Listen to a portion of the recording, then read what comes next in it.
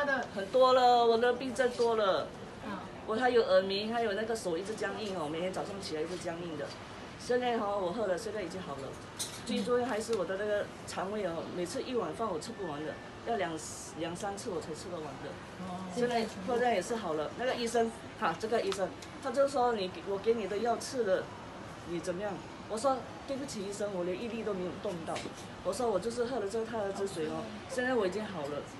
那你的膝盖，膝盖，啊，膝盖就有两个咯，啊膝盖我一直去碰哦，现在也是好很多了。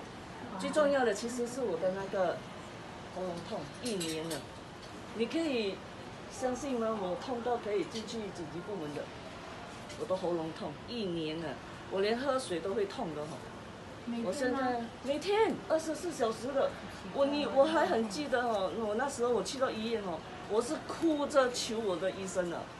我跟他讲哦，我你已经照了 MRI，照了那些肠胃哦，放那个 bite 啊什么这些哦，都已经照了，然后你告诉我说没有事情耶，那为什么我还是这样？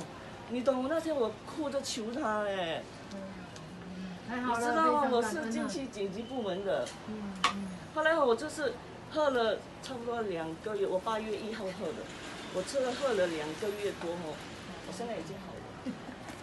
不然我的中药西药哦，吃到我要吐了，跟你讲，就是太好了，太好了，这谢谢你，这是我最好的证明。太好了，太好了。